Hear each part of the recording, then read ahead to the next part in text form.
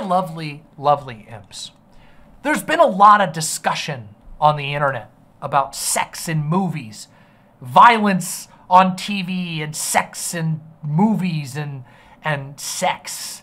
There's been a lot of discussions about it generally, and I see a lot of sentiments that get bandied around all the time about you know people are becoming more sex negative or this, that, or the other thing, and I simply don't agree with that.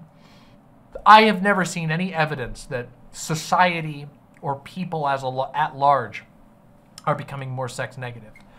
Um, and in fact, I think it's fairly I think it's fairly easy to observe the real reasons um, why uh, there's been so much discourse around all this and so many discussions. And um, it's because of corporations. I know that's a real shocker uh, on this channel, me getting mad about corporations, but um, the reason everybody's talking about sex negativity lately is because for the past year, especially, and it's been ramping up over the course of multiple years, but it's been very intense over the last year, credit card companies, including Visa, um, have been changing their payment processor policies and cracking down on allowing websites that sell adult content to do so while using their payment processing services.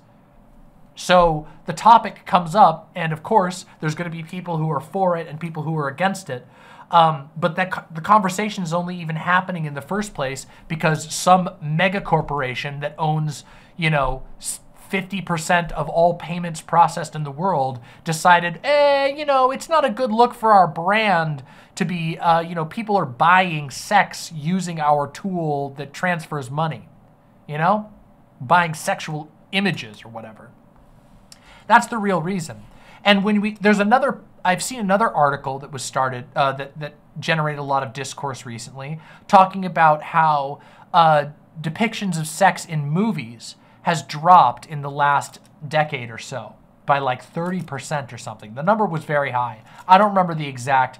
Please forgive me. We're not talking exacts here, and we don't need to. Um, this article went around on social media, um, and I've seen a lot of people discussing it. Um, and again, I think there's a fairly easy solution. It has nothing to do with the consumer. It has nothing to do with the average person. It's the fact that movies are now more uh, monopolized.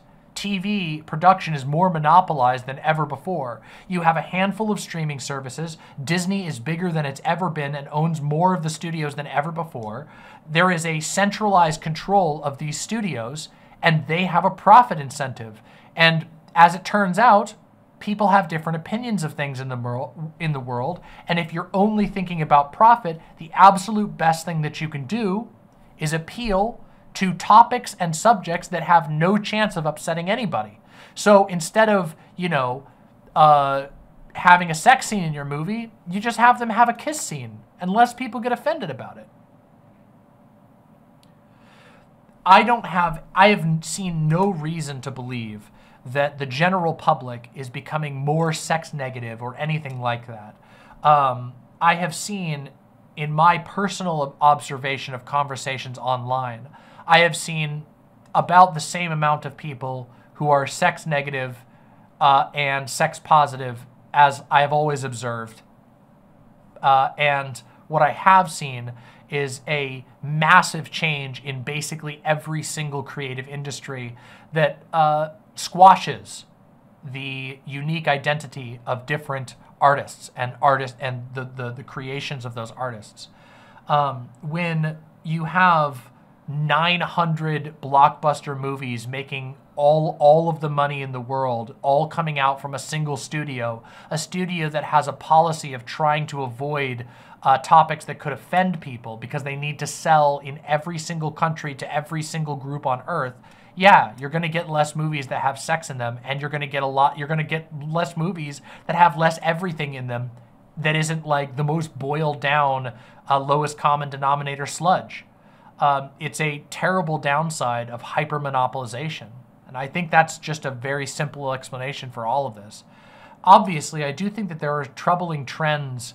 Um, uh, but but I don't think it's generalized. Like for example, I think that there is a current uh, severe cultural uh, uh, and political uprising of Christian nationalists. But that group of people is no larger than it's ever been. They're just more activated. They're louder and they want to force people um, to do what they want. The Christian nationalist groups that want to make it illegal to depict, uh, you know, uh, gay relationships in books that are going to appear in a school, um, that group of people uh, is, is is they're aggressive and angry, and they believe that they are called by God to force those rules on other people. That doesn't mean that people are more sex negative. It just means that the same sex negative people as before have now devoted their entire lives to it, uh, to in in like a, a slavish mindset. Yeah. Yeah. So it's unfortunate. It is an unfortunate phenomenon, but I don't think it comes from like any genuine sex negative sentiment spreading across the world. I think it comes from um, I think it comes from corporations largely and observably. Uh, we know that certain corporations are very explicit with this. Visa is very open about the fact that they're cracking down on websites that uh, that that sell any sort of adult content. Why? Well, because they can. Visa is the the the leadership at Visa uh, does everything to protect their brand, and additionally, they have they tend to have conservatives, people who are uh, uh, tend conservative at the top of their leadership. They are they are interested in maintaining the power that they currently have. It is an inherently conservative position. They don't want to take any risks, so they continue to put restrictions, and they don't care. Of course, they don't. They don't care about the people who suffer from that. They care about their profits. So, yeah. Um, in fact, I would, I would, I would be willing. I don't know. I haven't seen the numbers, but I would be willing to bet that there is slightly more people than before who are sex positive. Um, but it's hard to know for sure. Um, and we don't have a choice. And that's the thing. Like people say, oh, people vote with their dollar, but it's not really that simple, right? Like you can only uh, you can only buy what is offered to you. You can only vote with your dollar with the options that are in front of you, and um, the the current like atmosphere around artistic creation is one of mega capitalization. It is, it is hyper corporatized. Um, you don't have a whole lot of options. You uh, uh, you know, every single small company that's doing something different gets acquired and is eventually crushed and melted down into whatever is most convenient for powering up the brand. I mean, hell, Microsoft just had a massive.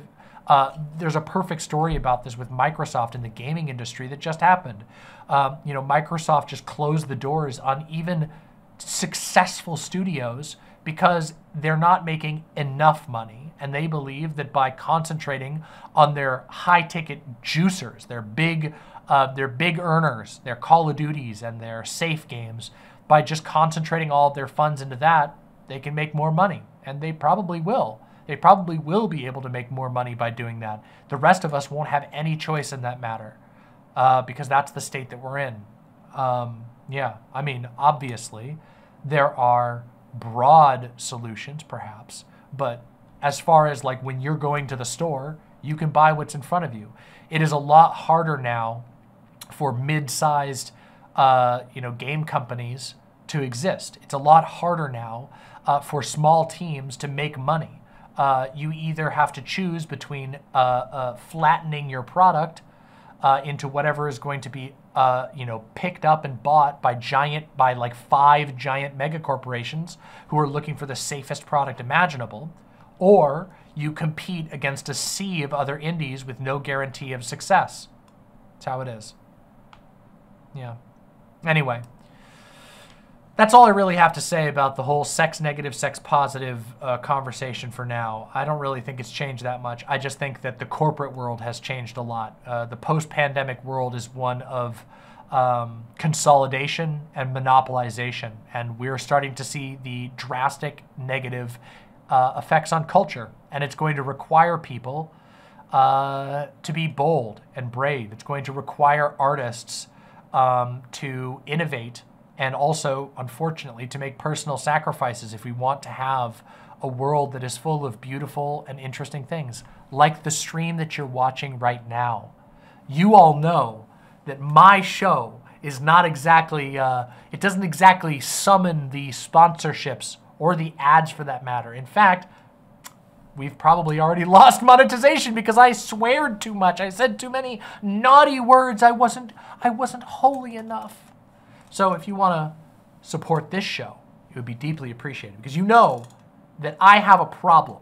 And that problem is that I have an irrepressible personality. Uh, I do what I want and I bring to you what I think needs to be said. So if you like that, consider subscribing and also consider donating. It mean the world to me. Thanks for watching.